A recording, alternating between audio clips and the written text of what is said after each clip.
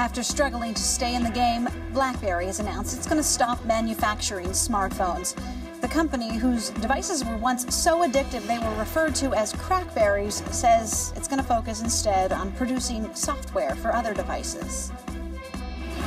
Want to talk a little more about this news, which is maybe not shocking, but certainly will sadden some Canadians who hear about BlackBerry not making Blackberries anymore. I want to bring in our tech expert, Graye Williams, to talk about this. So, when you heard the news, what went through your mind? Uh, I was sad, but I wasn't surprised. Um, coming from Waterloo, it is, it's tragic to hear anything about BlackBerry that isn't good news.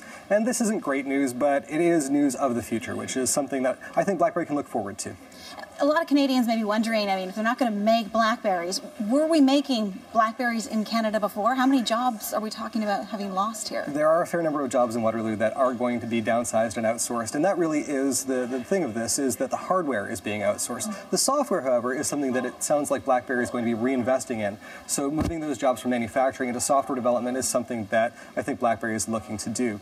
Um, what that's going to look like for them over the course of the next few years, we, we have to wait and see. Smart move, do you think? I mean, we, we have heard a lot about uh, BlackBerry uh, having excellent software, uh, incredibly secure.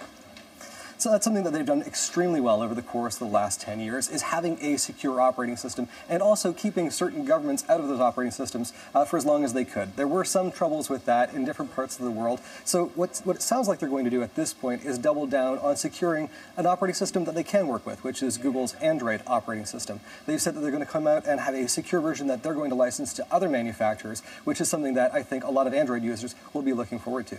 And so uh, for those Canadians who, and around the world really who, who do still love the mini keyboard and, and do want to still use that BlackBerry phone.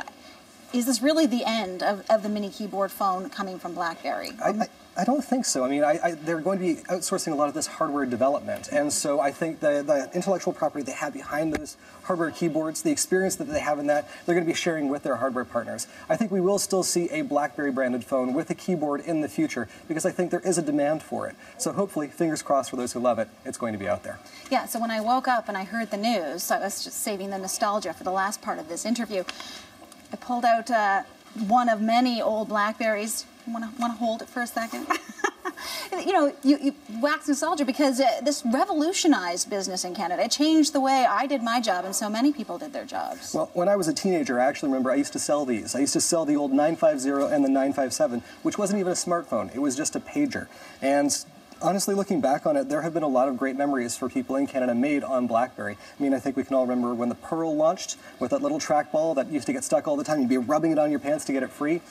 There have been a, lot of really great things that happened with this phone over the course of the last decade, and it's sad to see it go, but I think there is a bright future for BlackBerry ahead.